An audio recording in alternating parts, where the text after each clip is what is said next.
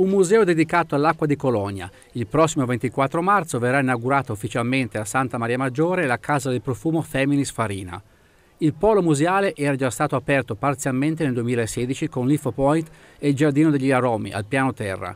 Ora, grazie al completamento dei lavori di allestimento anche del piano superiore, il museo è finalmente pronto ad entrare in funzione a pieno regime.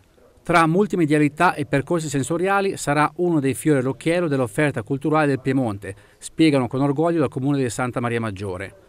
Un percorso dentro le vicende, gli aneddoti, le sensazioni, le affinità e le corrispondenze dell'emigrazione vigezzina, già narrata nei due musei del paese, quello dedicato allo spazzacamino e la scuola di belle arti Rossetti Valentini.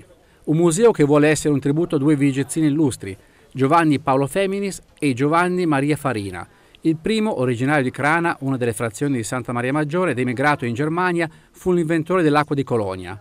Alla sua morte il segreto di fabbricazione dell'essenza profumata nota in tutto il mondo passò ad un parente, Giovanni Maria Farina, di Santa Maria Maggiore, sotto il cui nome fu fondata la casa produttrice dell'acqua di Colonia. Il museo verrà inaugurato, come si ricordava, sabato 24 marzo. Intanto dal comune di Santa Maria Maggiore fanno sapere di essere alla ricerca di personale per la futura gestione del museo. Per informazioni è possibile rivolgersi direttamente in municipio.